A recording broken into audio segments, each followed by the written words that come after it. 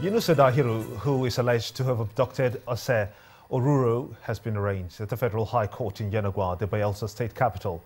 The suspect was arraigned for conspiring to commit abduction. The suspect had five counts charges read against him, and he pleaded not guilty to all. Oh, the Nigerian Meteorological Agency has predicted low rainfall in many parts of the country this year.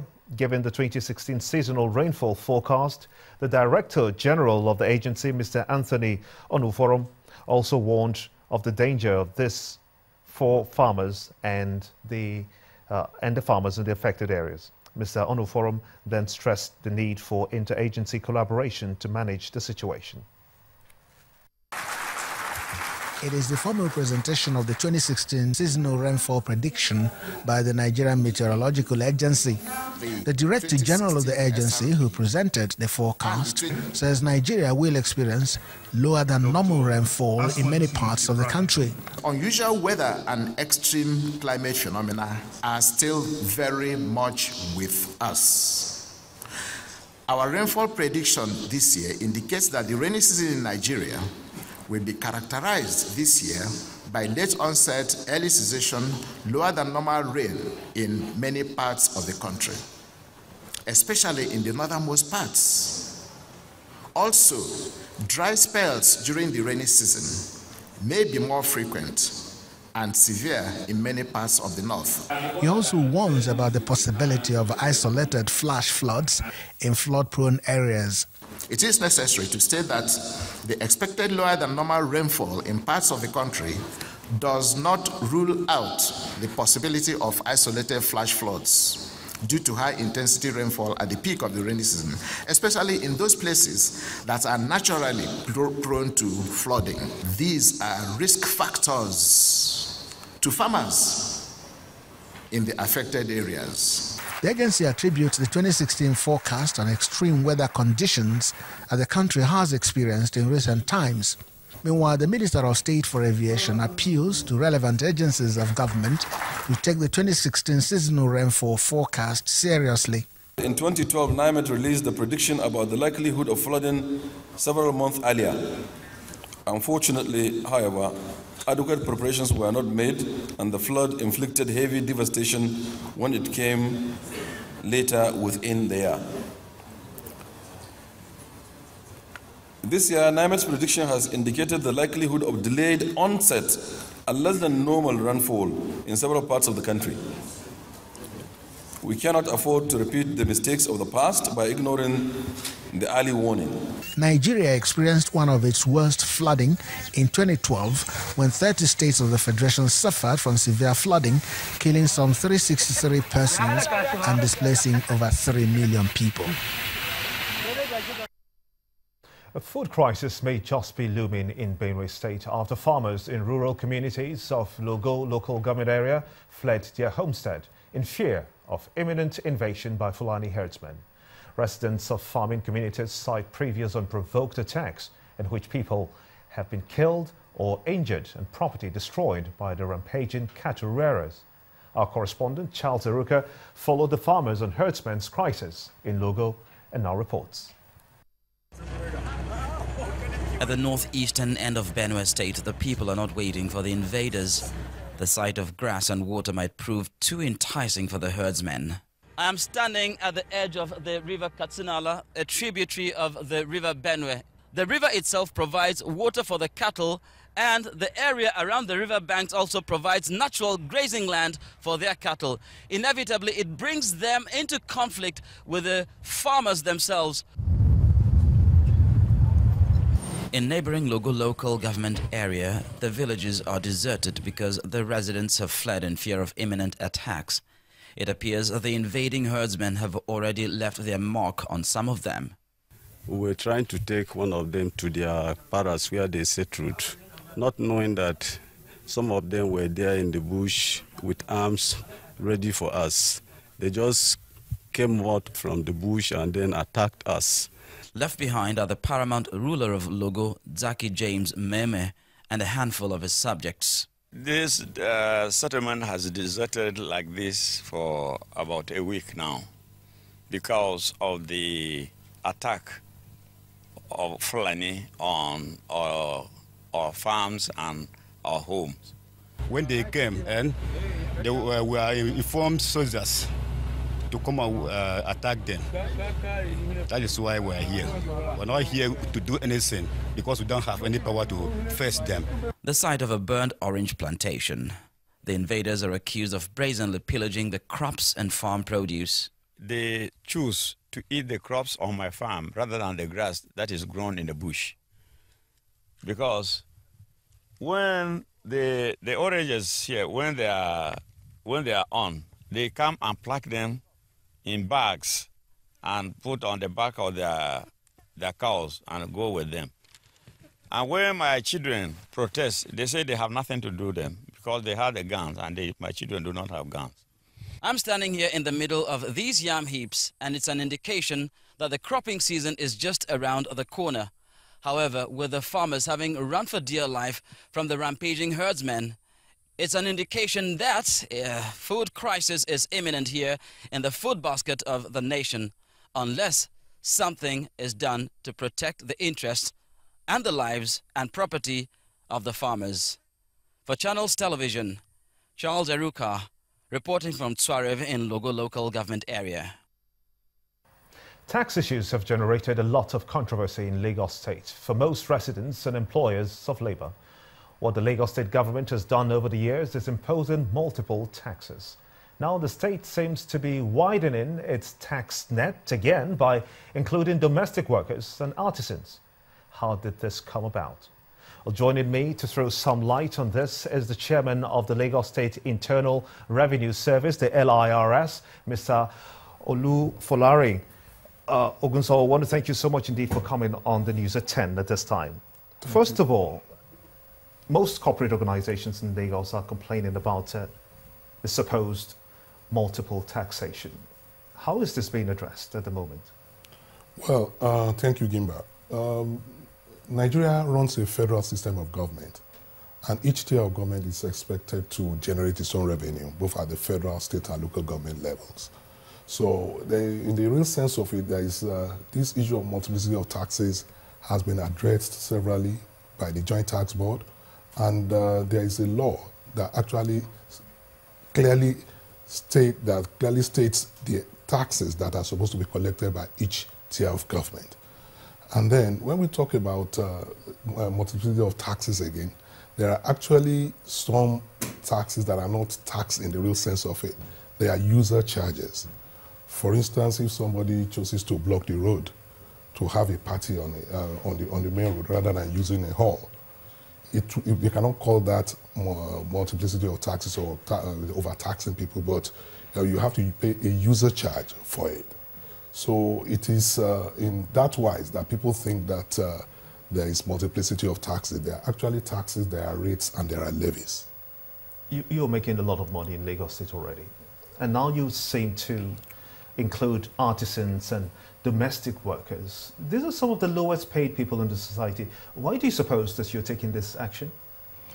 Well, uh, this is about engagement and inclusion.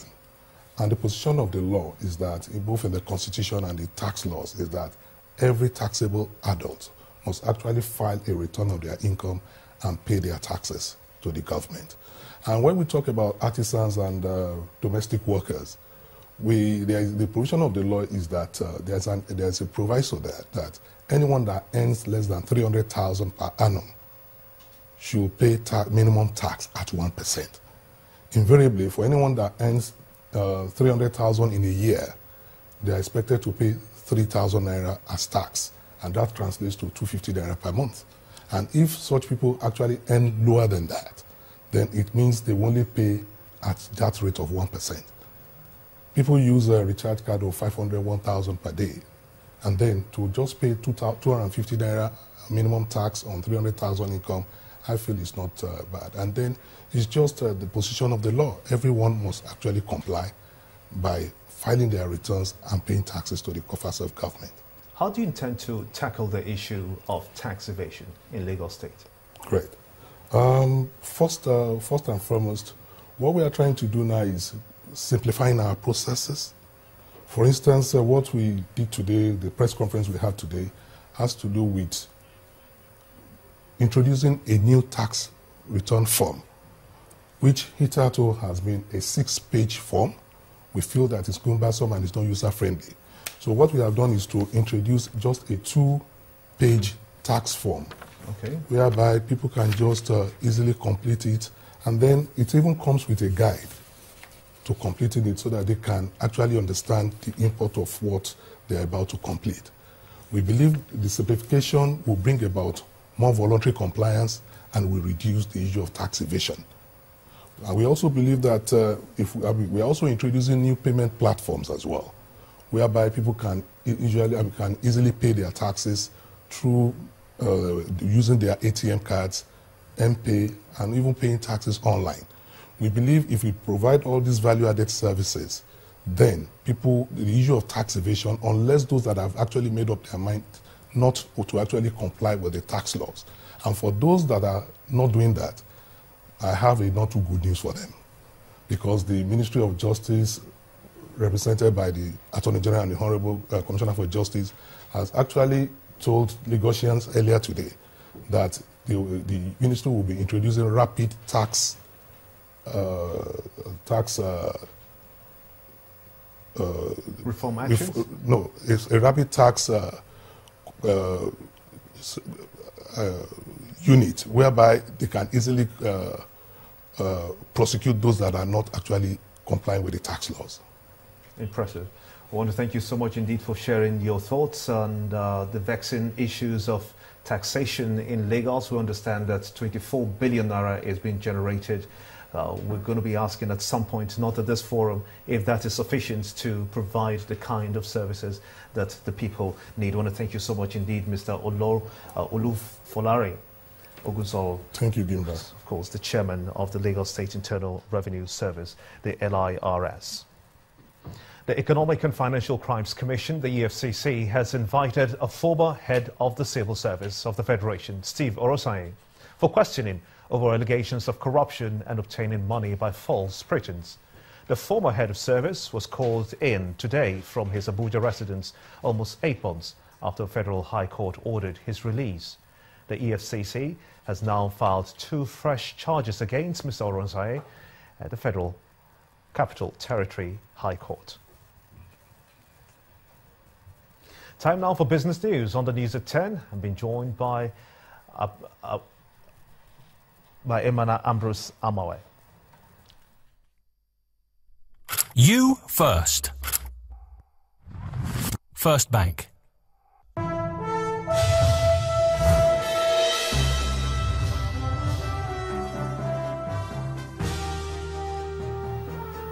Welcome to Business News. The umbrella body of the major oil marketers companies in Nigeria, Moman, has elected the Group Chief Executive Officer of Forte Oil PLC, Mr. Akin Akinfemiwa, as new chairman. Mr. Akinfemiwa takes over from Mr. Wale Tinubu, the founding chairman of Moman, who promoted high standards and best practices within the industry. The election of the new chairman of the major oil marketers comes at a time in which the continuity of the association's active engagement with the federal government is very crucial for the downstream sector of the petroleum industry.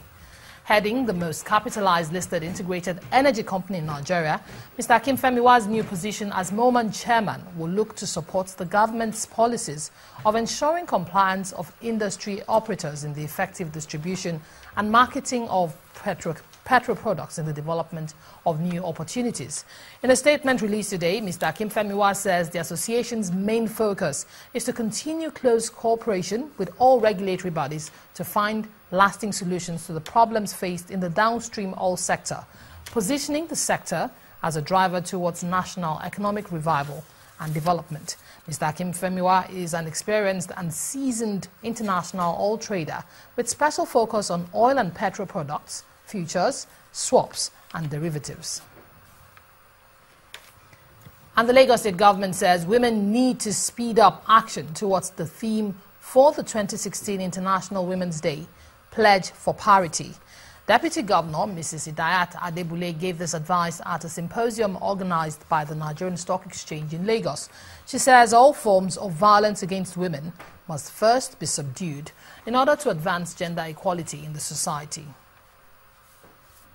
At this time in the social economic life of Nigeria as a sovereign state, this team, in consonant with the International Women's Day 2016 campaign team, Pledge for Parity, is a call to action for both men and women to take concrete steps in fast tracking the movement towards parity, equal opportunities, and elimination of all form of violence against women, as well as discrimination between men and women in all human endeavor. The journey has been tough and rough, and it's still a long way to go for the human race to achieve this much desired equality and equity. Investors gave stocks the cold shoulder at the local bourse today, bringing an eight-day rally to an end. Market capitalization closed at less than 9 trillion naira. Here's Bolaji Akinwale with details.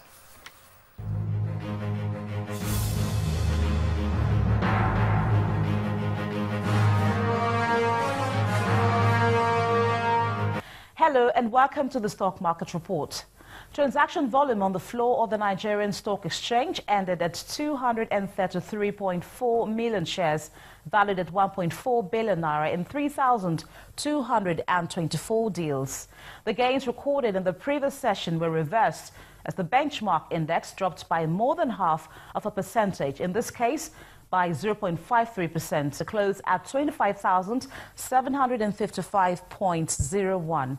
The market's capitalization closed at 8.8 trillion naira. Traders attribute this decline to a drop in the share price in large cap stock Dangote Cement. On the gainers chart, Oando recorded the highest gain of 10.11%. It was followed by Tiger Brands with 9.52% and UBA at 8.13%. On the flip side, UCAP led with 4.76% loss. The NPF Microfinance Bank was next with a drop at 4.46% and then Dangote Cement with 2.90%. Meanwhile, banking stocks continued the dominance on the activity chart, led by FCMB, UBA, and Zenith Bank. That's a wrap on the stock market report. I am Bolaji Akinwale.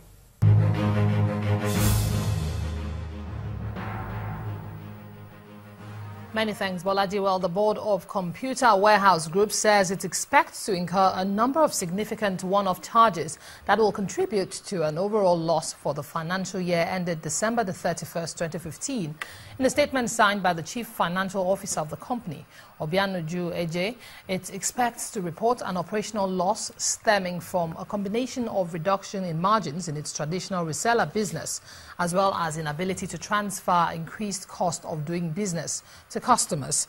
The board also says it has taken steps to reposition the company for improved performance this year. Well, let's now take a look at how equities fared at the global markets.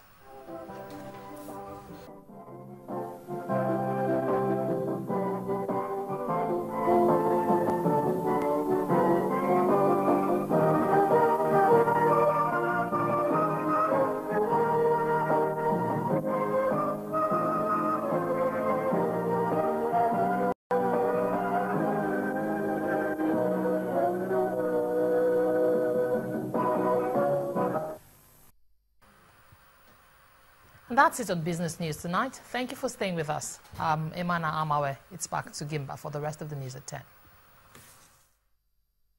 You first. First Bank. Nigeria needs policies that will encourage local production and reduce importation to achieve a stronger economy. This is according to the Minister of Agriculture, Audu Ogbe, who visited the Notore Chemicals Industries Limited in Onne. River State. This is his first official visit to Notore Chemicals Industries Limited in Onne River State.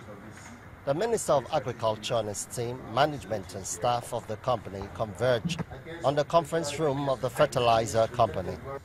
They are here to talk about the prospects and challenges faced by Notore in the production of fertilizer, as well as his achievements in the development of agriculture in the country. There's a genuine fear, okay, regarding uh, uh, utilization of uh, certain types of fertilizers for making explosives.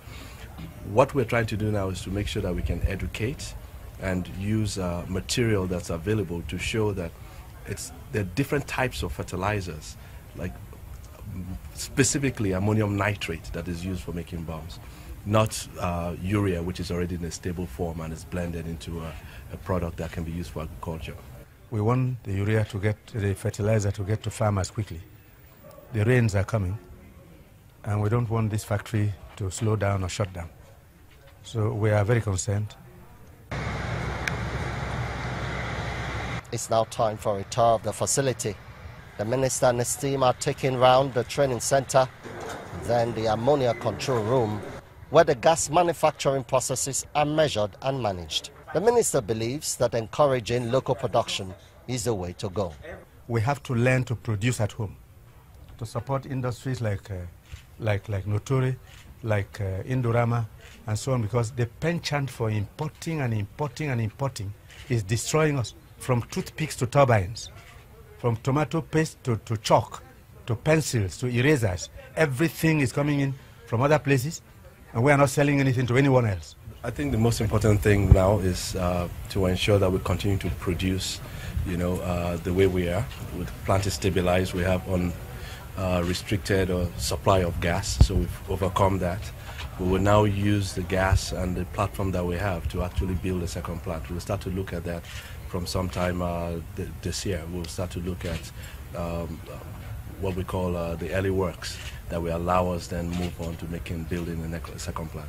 The management of Notore says the company will continue to raise the standards in the provision of fertilizer, seeds and education on best farming practice to farmers in Nigeria and Africa.